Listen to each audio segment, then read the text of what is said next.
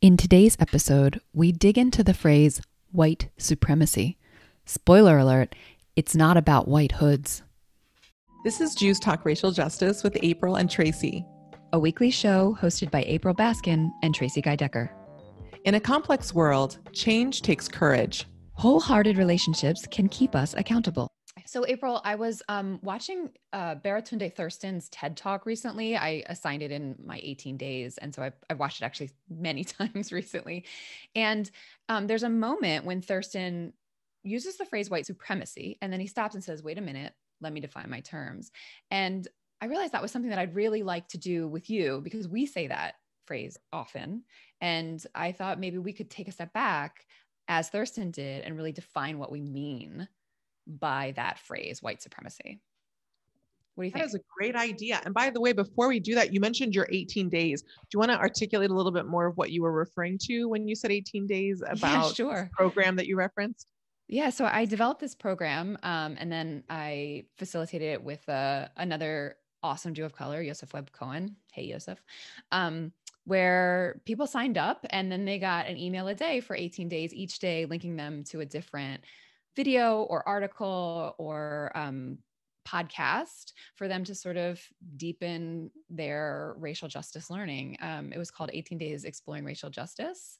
Um, the Baltimore Jewish Council actually uh, asked me to, to do it for them. So we did it here in Baltimore, and I'm hoping actually that other cities might be interested in doing a, a doing a program in their city. So that's my 18 days.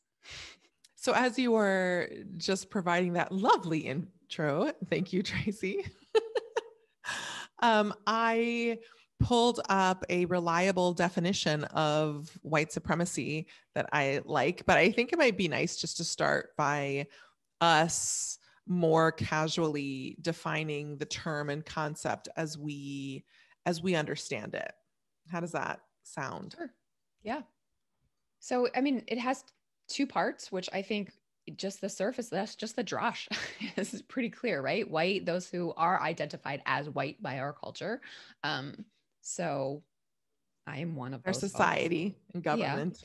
Yeah. Um, and supremacy, meaning sort of at, at the top of the hierarchy, um, power over uh, and receiving the the top, um, you know, skimming the top off of whatever ration it is. You, you look around at resources. Exactly, just disproportionate. And you look around at the CEOs and the um, the billionaires and the uh, the folks who have power in government, and disproportionately, they are white folks. And in fact, most white, white folks. Yeah. And what was that? And, and, matter of fact, what was that? I missed the last most, part. Mostly white men white male supremacist patriarchy, as bell hooks would say. Do, do, do, do, do, which is fairly awful, but I'm smiling to bring some levity to something yeah. that is hurting us all collectively. Yeah. So, um, so I think here it's not just about us defining it right. Like I think you both provided a great intro, Tracie. And what I would add to it is that um, different folks have um, different kinds of relationships with this term and and concept and the implications that it that it has. Uh, as as someone who studied critical race theory in college and has a degree in sociology with um, a uh, concentration in in social inequity, uh, this is a concept that I am deeply steeped in, and it it made um, it gave me language and ways of analyzing and understanding and articulating all the things that I saw happening to my black and honestly Jewish family in this in this country and helped me understand as a woman of color um, what was happening to me and and why. I'm glad that you named critical race theory because I think that for some of our listeners, the use of this phrase, white supremacy, to mean something other than KKK members feels recent. But it's not recent for those Surprise! who actually for those who actually study race and racism. It is not a recent use of the phrase to mean more than KKK membership. Um, mm-hmm. and, and so thank you for bringing critical race theory into the conversation. Yeah. And I think it's both exciting and slightly exhausting to name that it's, it's from decades of work of leadership of color that we are beginning to untwine the grasp and how deeply woven white supremacy is in our society and and how it's a part of a core part of the backbone along with capitalism and patriarchy and various other dynamics. I think the phrase makes some people uncomfortable. They hear the phrase, and I, I guess, you know, they imagine the white hood. And then when they feel that it's been applied to themselves, they get really uncomfortable with that. Um, and themselves like should- or the cult or the spaces or institutions or communities they navigate. So and, even if it's not attributed to them directly, if it's attributed to their spiritual community or other communities. And as you were saying this, Tracie, like part of me wants to say, when you say some people, do you mean white people? I mean, I think what's interesting is that it's predominantly white people, but not exclusively, because all people, this gets back to what we've talked about before about systemic racism and the ways that it's touched everyone in our society and that people of color in internalize this. So even as someone who already basically had her own critical race theory happening in my mind and her mind as a young college student, I remember when I first read essays by Bell Hooks and Audre Lorde and some other leaders when they spoke very openly about white supremacy. Um, I wasn't opposed to it, but I had to adjust internally because I I felt the powerful contradiction those that scholarship was making against against white supremacy by by naming it that it is a i think i think part of what it brings up for different folks across lines of difference and i think more so for white folks but also at times for people of color is that it's it's con it's, is that it's scary because it's naming the elephant in the room. It's it's naming the wallpaper. It's naming the infrastructure of the building that you're in and that feels scary to take aim and just shine a light directly on the fact that, yeah, when we look at all the demographics, when we talk about racism, at times, you know, I, a colleague and a beloved friend of mine, Amelia Diamond, when she teaches young Jews about racism, she finds that it's ex- that it's explicitly helpful to talk about white supremacy because there is no racism without white supremacy you know that i think that a, a similar dynamic that with a movement that's farther along because it has more white people in it and for various reasons farther along and also more deeply entrenched in terms of time timing is the women's liberation movement. And white supremacy is a corollary to patriarchy and and i think you can actually come it's fairly comparable in some ways. Patriarchy is people are much more comfortable at this point in time discussing that but there are still a number of women depending upon what part of the country they, they grew up in their culture how steep they are in white supremacy culture that may still be very uncomfortable with that concept. It's just a word that uh, describes um, the power dynamic of a of a the the top of the hierarchy the the system of power that um, i often talk about how anti-black racism is the anchor and the top anchor at the top of that of that continuum is white supremacy right? And and so a lot of us have been conditioned to not want to look at that, to see that as an extreme form, just like I suspect I didn't live through it, that patriarchy for it's more mainstream now for people to attribute patriarchy from everything from um, you know, a mild trigger warning from sexual assault all the way to the way that chores are divided up in the home and who has to do what and how money distribution happens. And many people, whether or not they've had sociological training or not, understand that those are all different components and dynamics within patriarchy. And some, yes, are worse than others, but they're all intertwined and serve to perpetually keep uh, a proverbial boot on the neck of women to perpetually systemically disempower women or people who were raised um, as women in this world, um, women or girls. And so eh, to me, the use of the word white supremacy is quite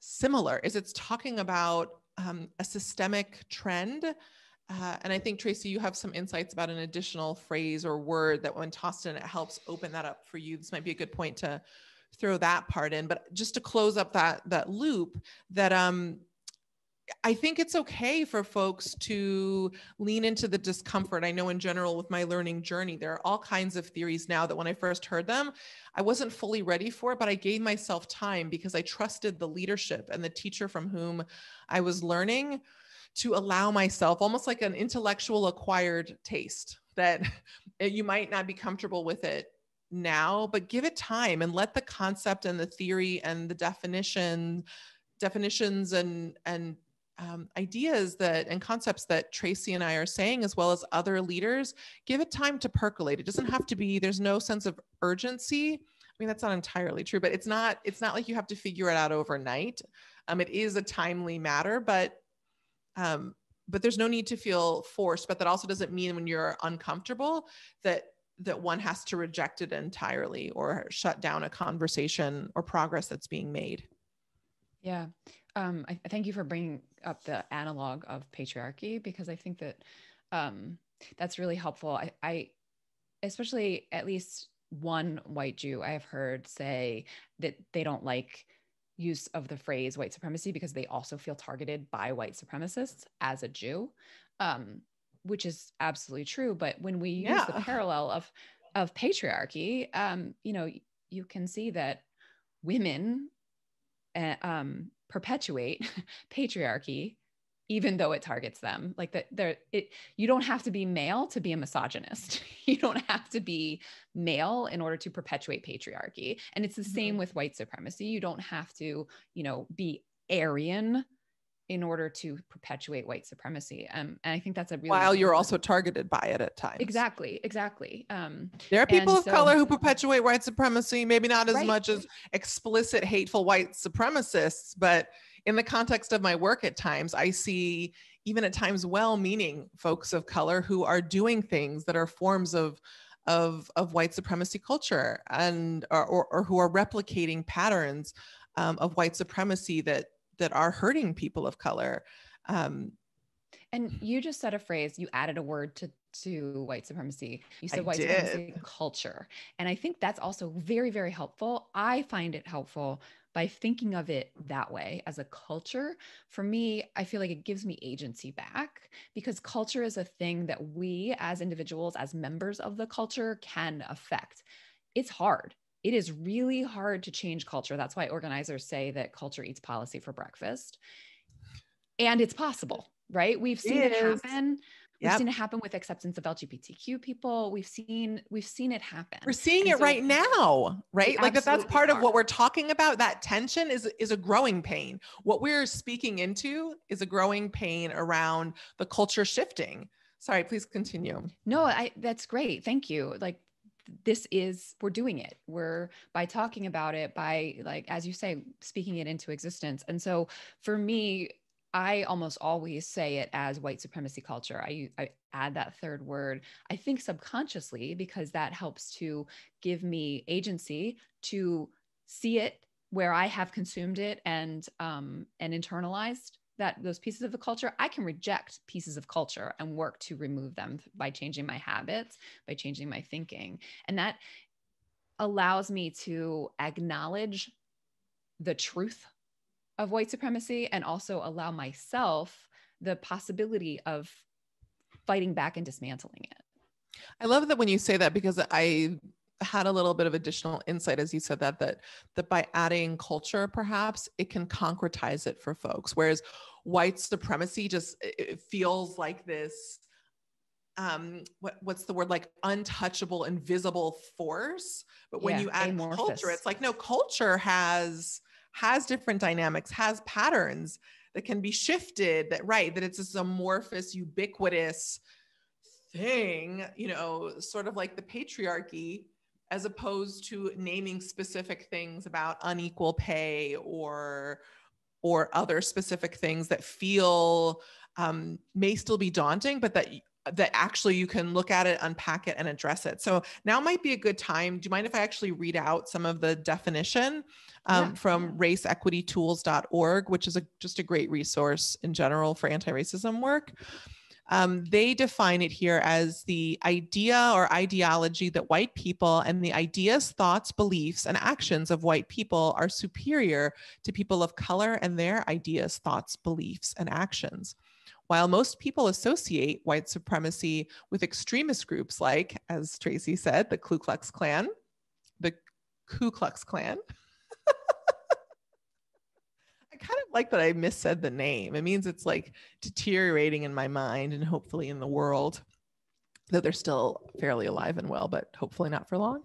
And the neo Nazis. Um, so while most people associate white supremacy with extremist groups, such as the Ku Klux Klan, still did it again, and neo Nazis.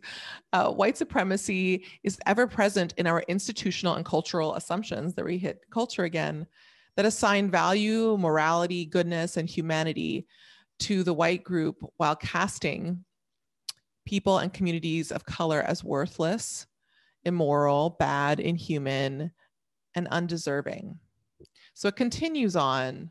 Um, and it mentions that uh, it's a system where white people enjoy structural advantage and rights that other racial and ethnic groups do not, both at a collective and individual level. Um, and the source from that is the Dismantling Racism Works web workbook, right? And and so what's interesting about that definition is that most of it, for many people who are uncomfortable with the term white supremacy, it's for the reason that we and this definition named as well. Um, it's because because the rest of the actual definition, most folks would be like, yeah, people of color have it worse. Like I'm not, you know, and and um, yeah, that that makes sense. It's sort of like the famous Jane Elliott uh, clip from right. one of her presentations where you know she said, "Well, raise your hand if any of you in here would like to be people of color." Right. Right. Right. You know, and then she says, you know, none of you are raising your hand. So that means you know it's worse. You don't want it. And if you don't want it, then why aren't you doing something to change it? And so to me, the this is such it's both old. So part of me feels resentful of like leaders of color have been talking about this since critical race theory was developed, since uh, civil rights efforts. Yeah. Like and and and and the Reverend Dr. MLK, right? Like you know, this is not new. Not um, mm-hmm. And yet, whew, it's so emotional. I lost my train of thought. So um, uh, I think there's, uh, if I may put a seed back in that I think maybe where you were going was that despite the fact that this isn't new, um, you and I have talked a little bit about how folks maybe in trainings or with it for, you know, within your orbit, white folks might ask you to change the way you talk about it. Right. Yeah, but it's uh it brings up two things for me as a, an experienced facilitator and as a human being. So, uh, to me, whether or not people intend it that way, and to me, most forms of racism are unintended. So we need to move past intentionality being a litmus test of whether something is worth focusing on or not, because most of this stuff operates automatically because of conditioning and structures. And so we need to focus in on that. Culture. Yes. Hashtag culture enters again. And so, and internalized oppressor and oppressed patterns, internalized oppression um, and superiority patterns that again usually operate mostly unconsciously for folks unless they've had extensive training. Ooh, so I have a twofold reaction. One, in the moment when people ask that for me, I just feel the oppression being put on me around um, not being able to use the word. And then separately for me as a facilitator and as someone who's been deeply trained in working across lines of difference in diversity, equity, and inclusion brief rant about that. It bothers me at times when predominantly white institutions um, co opt that term and begin using it, ar- bandying it about in ways that don't honor the scholarship and the decades of, of thought leadership that have gone into that field and sort of deputize folks as um, whether they're folks of color or white folks as having the experience after a training or two or because they've had one or two gigs and that I, I mostly choose not to focus on it and focus on progress because depending upon the context, I think that's more or less relevant ultimately. So it both feels exhausting and annoying to me and oppressive when folks ask me not to use that word, in part because it has different elements of white supremacy culture embedded within it um, in terms of a right to comfort. And that they're asking me, as someone who has spent years studying and reading and restudying and retraining and working on myself intensively and weekend long and week long workshops of poring over this material. So, just the hubris and the lack of humility um, when when people step on my toes that way. And there's and to be really clear there's a continuum. And then there are times when someone might come up to me personally and say i'm struggling with this or when you use this i'm feeling uncomfortable and i'm trying to reconcile this and that is not the same as someone coming up and explicitly telling me what i should do. Now if i set all of that aside of how it personally makes me feel when i have my official facilitator hat on or really more of a wrap because my hair is too big for hats a lot happening here it is that uh um i ground a bit more in compassion and i hold that i have a lot of different tools. I have friendships like my friendship with you friendship with amazing um, movement leaders of color who i can go to get nourishment but um, around all the reasons why that bothers me. Um, and then as a facilitator, as someone who wants to come into a situation and make the most of it and move progress forward, there's a part of me who, when I've been doing my own work, which I often do, I can just say, "Ooh, that's annoying," and like a steaming hot pile of poo. I'm just, I'm just to put that on the shelf right now. I'm not to hold that. I'm to let let that sit and then I'm going to say this person is struggling. So normally this doesn't happen to me often because being a mixed heritage person for a lot of different reasons, I am very good at reading a room very quickly from people's body language, from what they're saying. So before that even happens, I try to anticipate, or I just naturally often anticipate if this is a room and I have temperature gauge exercises, I have different ways to help assess developmentally where a group is. Because separate from systems of oppression, as a skilled and rooted and grounded facilitator, it is important to me to meet a group where they are. And so, as I also assess, so I'm speaking with, I'm aware that there are different folks listening to this on both speaking to white folks and speaking to folks of color who who um, generally speaking would interpret what i'm saying in very different ways. One group generally speaking might be comforted by knowing that i'm caring for them and another group of people depending upon how much they're in social change movements may, might be like like take care of yourself and like stop coddling these folks right?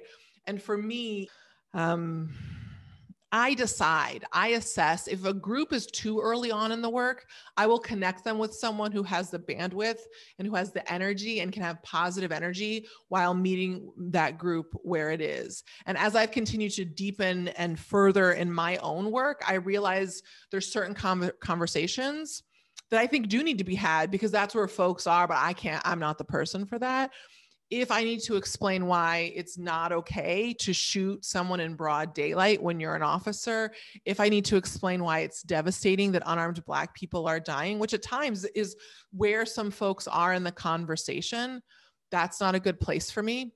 That mm-hmm. feels painful. That feels like violence. That feels um, deeply upsetting, right? But for me, I'm comfortable with a modulation at times where I will either explicitly say both white supremacy culture, or if it's more comfortable for you, talking about white dominant culture, because dominance is pretty much supremacy, but it's a mm-hmm. word that doesn't carry all that old baggage and all of that old, honestly, um, acculturation from a racist society that that explicitly chose to position and talk about white supremacy as being a bad thing and have it fit into the good bad binary that Robin DiAngelo talks about. And so I, I gently try to contradict that and talk about white dominance, which is still a way of making it visible, but is more approachable for folks. And so I would offer that to certain people as you're listening to this, that I hope for some folks who may have had varying levels of discomfort with this term, that perhaps hearing some of this, it's opening up new possibilities for you, or maybe it's totally resolved it. And for other folks, where it's also quite possible and reasonable. Um, that you may still have discomfort with it to uh, to one degree or another to possibly consider trying on talking about white dominance or white dominant culture uh, for yourself. I think in general it bothers me a bit and, and it is a little bit oppressive when when um, specifically white folks, but other folks as well, when specifically in um, areas of liberation, folks randomly start using a term that they just made up, whereas around other issues like philanthropy or other established fields, people don't just start making up terms and muddying the water. So I'm not saying to necessarily publish articles saying this is the word to use, that's going too far. I'm saying if you need training wheels on um, upping the level of your sophistication of analysis and participation in these conversations, and it helps to do some internal code switching for you, feel free to do that. Um, that is a strategy that I've used, and I'm sure a number of folks have as well, in varying fields and areas of my life that have helped me excel tremendously over time where something didn't quite work, but I would make it work in my own mind. And as time went on, I would either reject it or eventually I would learn enough that that whatever that concept that was difficult for me before it started to make sense and i could release the translation i was doing or the the code switching i was doing and just embrace the whole concept and um, respect the the wisdom and thought leadership of of of the folks who helped to trailblaze those terms and concepts. I want to reflect something back to you. Um, these are not the words you just used, but I want to sort of say this back to you. What mm-hmm. you're saying ultimately that I want our listeners to really think about is the fact that your discomfort with a concept or term is not a sufficient litmus test of its validity. I think that's really important because I that that right to comfort, that feeling of like this makes me uncomfortable and therefore it must be wrong that concept itself we really need to investigate. It's not true. It's just not true. Um, and it's and, often and, not helpful. Like yeah. it can be helpful at times but to me there's a very real difference between discomfort and pain. And often discomfort can be attributed to growth. It can also be a sign that pain may be impending. Um, and this is starting to go down a deep coaching world hole in my in my mind around around the nature of what Buddhism calls our monkey minds um, and the ways in which we have these brilliant brains that can be very helpful for us, but also at a certain level are reptilian and will block off anything that makes us uncomfortable. And often the things that can be the sources of the greatest joy and meaning and advancement. And so it's incumbent upon us to um, to really interrogate that um, and explore and get curious about about about that discomfort. And that reminds me of something else that i wanted to name here too. Thank you for that tracie. Um, eh, to me I, I think it's really helpful to go beyond just noticing whether it makes us feel comfortable or not and interrogate why and reflect upon our own life journeys and our own upbringings and the stories that animate our lives. As the daughter of a man who is literally a functional, lovely, but a functional, lovely perfectionist and has excelled at almost everything he's done. And regardless of that, that did not protect my father, who's a Black and Native heritage man, from being beaten by the police, from being wrongfully incarcerated, from experiencing extreme and repeated chronic, chronic is the word, from experiencing chronic discrimination in the healthcare system, despite um, his uh, intelligence, his professional success, his insurance, that my father almost died and and now has ongoing chronic health issues because he was repeatedly misdiagnosed. So, my personal narrative uh, and also then exploration and what I already knew about the history of Black folks. But the thing, uh, one of the core things that my dad's journey and all the ways that that hurt our family and and despite him being a superhero him not being able to protect us from institutional racism himself or his family entirely um, and so that taught me a lot of different things and um, it, it showed me that despite what everyone was saying in my schooling and on the TV, that things were so much better. And that really happened after he was beaten by the police when I was in middle school, as I thought I believed all the um, sayings or propaganda, if I want to be a little bit bolder, that that everything was better, um, and yet and yet that that could happen to someone with my father's stature, and that sent me on a whole journey to learn more about um, Amadou Diallo and all of the different forms of police brutality and um, and other unaccounted for or unprosecuted deaths of Black people, the the wrongful or, or I would argue likely wrongful um, or definitely unjust um, long-term, decades-long imprisonment of um, American Indian movement activist Leonard Peltier that opened up this whole world. And by this whole world i mean actually the world and the reality that wasn't shown on the mainstream news.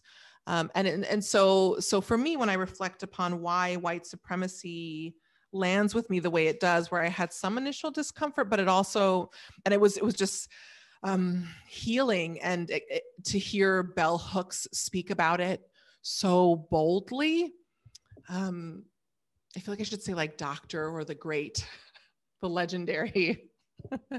she's such a um, a luminous uh, and legendary figure in my mind, along with other scholars and Audre Lorde, that when they spoke of these things, while it felt scary to me to speak about it as you know as a freshman and sophomore in college so boldly, it also it also contextualized the truth of my family's journey. And so, if it makes you feel extremely uncomfortable, if it bothers you, I think that that is an invitation to look inward around what has your conditioning been and it's a it's a place that can be instead of a source of suffering, a source of fruitful introspection and growth. I've been talking for a while now. Back to you, Tracie. well, I just would reiterate that growth happens growth doesn't happen when we're comfortable. And so discomfort actually uh, is a prerequisite to growth. And so um, i think that's an important thing to remember um, when when these concepts make make you uncomfortable if they make you uncomfortable. Um, there's one other thing that i want to maybe unpack a little bit uh, vis-a-vis white supremacy, white supremacy culture, and that is to just layer on briefly class, because I think one of the arguments against the use of that word that I have heard in the press, whatever, um, or from just people's casual conversation is, but white folks are poor. There are there are poor white folks, or you know, people at my synagogue like I grew up poor. I grew up with nothing, so don't talk to me about white privilege or white supremacy culture. Right. yeah yeah and so and i'm not and i'm not saying that to the people who are sincerely in strive i've, I've just heard this so much that i'm no little, like, right well i actually was just gonna i agree I it's agree. important this is I, let's that's really good that you you so I'm going to actually use data um, that is in everybody's brain um, around the way that our culture has responded to two different drug epidemics. One is the crack epidemic, which was devastating to Black communities um, when I was growing up in the 80s um, and 90s. And the other is the current epidemic of opioid addiction, um, which is predominantly hurting white folks. And the difference in the way that we talk about those two epidemics and have dealt with it structurally one, war on That's drugs, which actually became a war on Black people and now it's like we addiction is a disease and we need to really care for these people and we need to figure out how we save them and save them from the opioids. And the main difference is the skin color race of people who are addicted. Um, yeah. And so I, I just would present that um, to those who are saying, how can you talk about white supremacy or white privilege when there are still when there are poor white people? And that's this is an exact a manifestation of how white supremacy is still at work in the lives of those who are white and also experiencing poverty. Mm-hmm, mm-hmm. And the other thing is that I, you know, what I would say about that is that I want a tidy answer. And there's some great scholars who have tidy answers for that. I don't know at this moment, but what I would say is that there are different forms of interlocking oppressions and what and what i would say is that for white folks who are struggling and this might be you know difficult to hear or fully digest but i would invite you to consider the possibility that when we adequately address racism and there's more justice that by addressing that that a lot of these things are interconnected and that many more opportunities will open up for everyone when our society isn't set up to chronically suppress people of color so intensely um, and we collectively decide that no one should be impoverished that black people shouldn't be disproportionately impoverished because when that's taken care of that that will have um, a powerful ripple effect for everyone yeah yeah i feel certain that it will Thanks for tuning in. Our show's theme music was composed by Elliot Hammer. You can find this track and other beats on Instagram at Elliot Hammer. If this episode resonated with you, please share it and subscribe. To join the conversation, visit JewsTalkRacialJustice.com, where you can send us a question or suggestion, access our show notes, and learn more about our team. Take care until next time, and stay humble and keep going.